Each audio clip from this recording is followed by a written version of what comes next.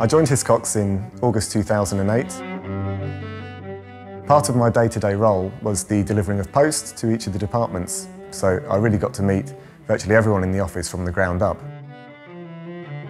After I'd been doing this for 11 months, two managers approached me for openings that had come up on their team. I was gobsmacked.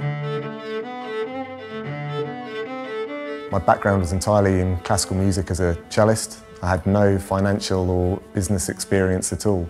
And the fact that the company were willing to take a chance on me uh, meant a huge amount to me. I opted to become a commercial underwriter.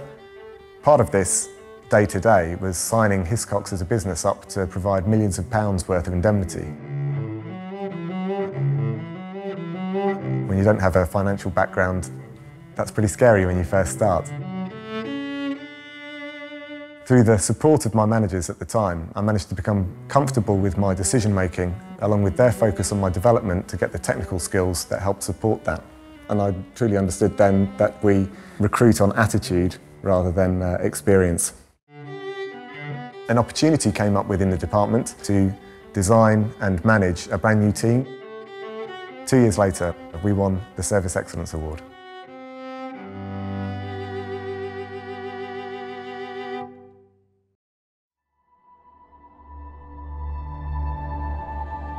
Música